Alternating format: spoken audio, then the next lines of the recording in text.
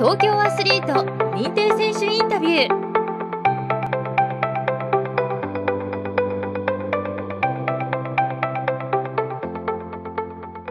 シッティングバレーボールの尾形しおりです。東京大会に出て感じたこと何かありますか？はいえーと、今まで私はパラリンピックを北京とロンドンと2大会出場させていただいてたんですけれども今回東京大会ということであのすごく温かい雰囲気といいますか今までになかったホームグラウンドの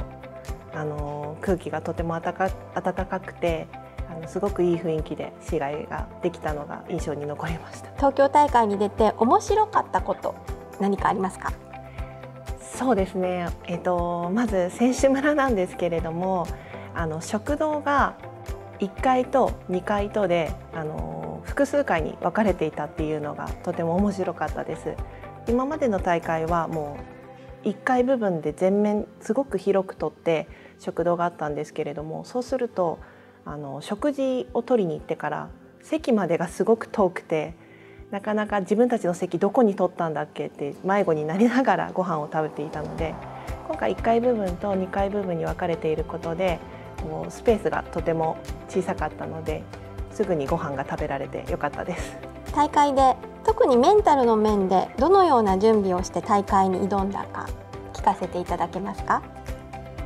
えっとまご存知の方もいらっしゃるかと思うんですけれども今回シッティングバレーボール女子の選手では、えーと、パラリンピックに出場できなかった選手が2人いまして、まあえーと、1人は亡くなってで1人はちょっと病気のためにあのチームを離脱することになってしまった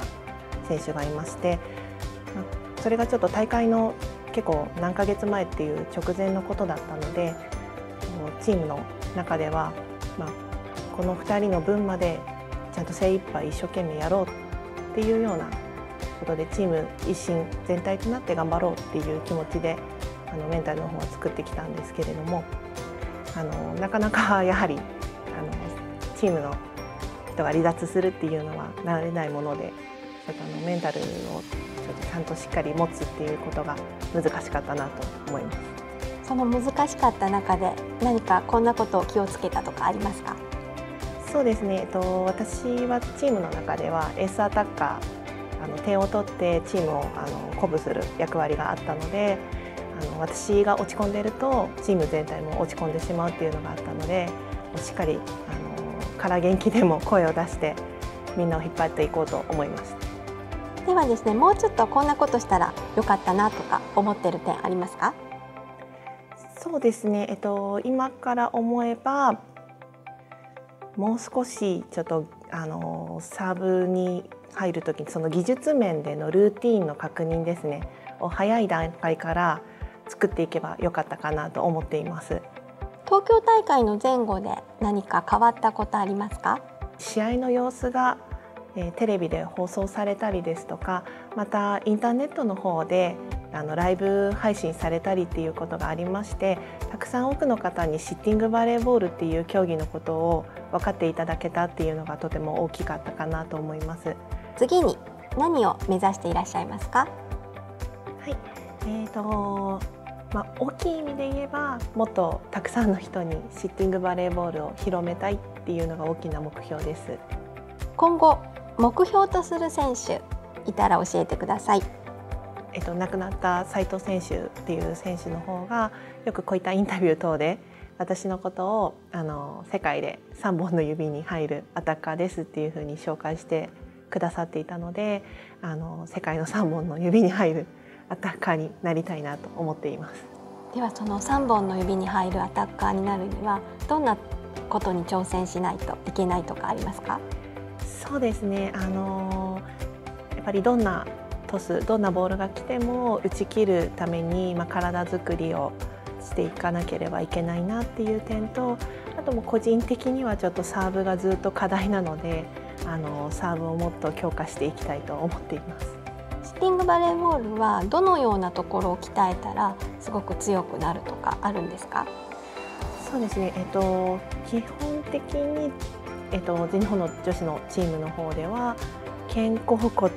体幹骨盤の3点をあの合宿等では強化してトレーナーさんにメニュー作って筋トレ等を行ってきました。そのメニューの中でちょっとこれ辛いなっていうメニューはどのメニューですか？あもう全部辛かったです。モチベーションの保ち方を教えてください。今回の東京パラリンピックが終わってからなんですけれども私子供が2人いまして、えっと、2人の子供が、まあ、前からバレーボールをやっていてママはよくよく土日にいない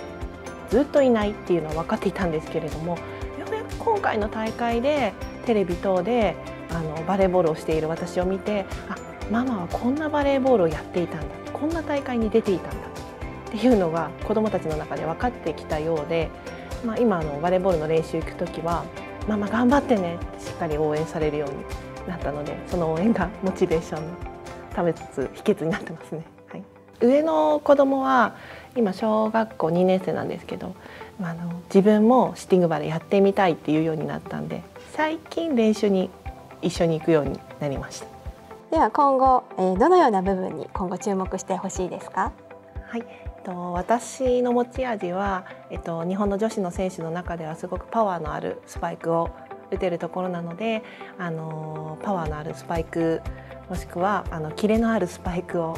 決めるところをあの見ていただければなと思います。2024年パリ大会に向けての意気込み教えてください。えっと、パリ大会までもうあと時間が3年ほどしかない中で、まあ、今のチームの状況でどこまでやれるのかっていうのがあると思うんですけれどもシッティングバレーボールを楽しみながら笑顔であのチーム一丸となってまた頑張っていきたいと思いますではこの動画を見てシッティングバレーボールをこれからやってみようと思っている方にメッセージお願いします。シッティングバレーボールはこう映像で見るとなかなかハードなスポーツに思えるかもしれませんがあのなかなか障害スポーツとして息の長いスポーツです。実際全日本女子のキャプテンあの55歳です。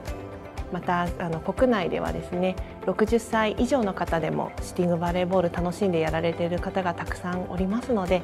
あのぜひ興味がありましたらあのシティングバレーボールやってみたいなっていう方は、まあ、協会の方にご連絡いただくかまたは各都道府県のチームごとあの SNS 等であの練習など告知させていただいてますのでぜひ参加してみてください。シッティングバレーボールあの私とてもバレーボールという競技が大好きであの障害を負った時にもう二度とバレーボールができないと思ってあのすごく落ち込んだんですけれどもこのシッティングバレーボールっていう競技に出会えてあの今こういうパラリンピック等の大会にも出場させていただいてとても幸せです。今後もそのシッティングバレーボールっていう競技に対して誠実にまたあの一途に頑張っていきたいと思います。